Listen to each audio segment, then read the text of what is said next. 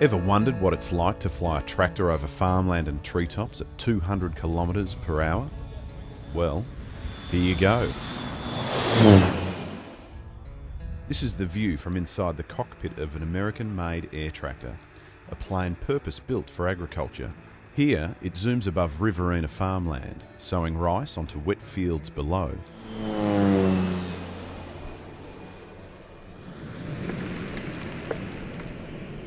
It flies just 25 metres above the ground, high enough to pass safely above the trees, but the pilot is flying low enough, fast enough, and at a uniform height to ensure that the rice drops in the right spot.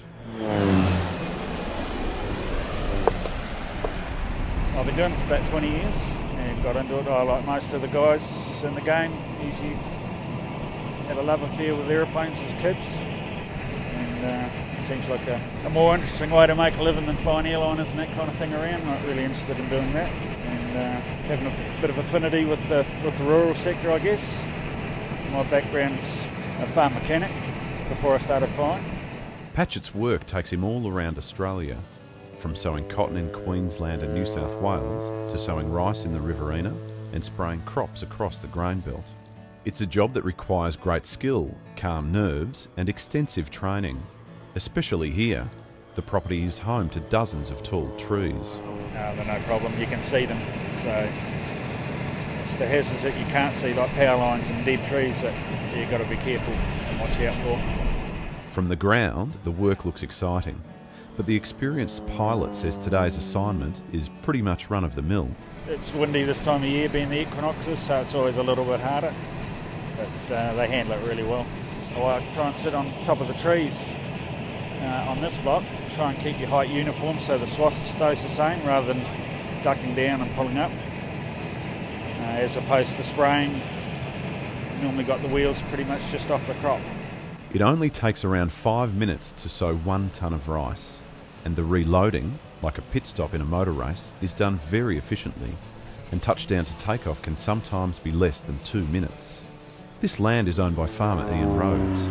He says he's afraid of heights and is happy to watch the highly skilled flying from the ground. It's a job that only a few people can do, I think. You know, it's a very risky job, as you can see, with, with the trees and that that's in the paddocks. Very risky. Um, yeah, I wouldn't like to be in the plane with him. There's uh, 82 hectares of rice going in now, and like it's going to, as you can see, it's only going to take him probably less than two hours to do the job. With this area, you need to need to sow it with a plane. If you sow it with a tractor and then let your water on, it takes too long for it to, to germinate and come up. Patchett admits that aviation has risks, but says agricultural work like this can be done safely with proper planning, discipline, and care. It's as safe or as dangerous as you want to make it. Uh, a lot of discipline involved with it. So plenty of guys have uh, had lifelong careers out of it and retired satisfied. But yeah, there, there, there are accidents. We've all lost a few close friends over the years. With the last load of rice being fed into the hopper of the air tractor, Patchett has time to ponder his favourite kind of agricultural flying. Uh, spraying for sure. The cotton spraying, yeah. It's probably doesn't get much better than that. Normally, not too many power lines in the paddocks. Um, normally, uniform paddocks, not too many trees. Um, yeah, and it's quite satisfying work, buzzing across the ground at 125 knots, a couple of feet off the ground, I suppose. Yeah. Just another day's work in Australia's food bowl.